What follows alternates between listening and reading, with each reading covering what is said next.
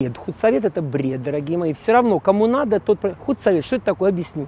Это кучка людей, которые будут брать бабло. Вот и все. И все останется так же. Будем так же видеть голые сиськи, как они были. Просто будем видеть их за деньги. Сейчас они пролазят за какие-то копейки, тогда будут пролазить за большую сумму. Вот это мой точный и абсолютно верный ответ. Вот вам мой худсовет.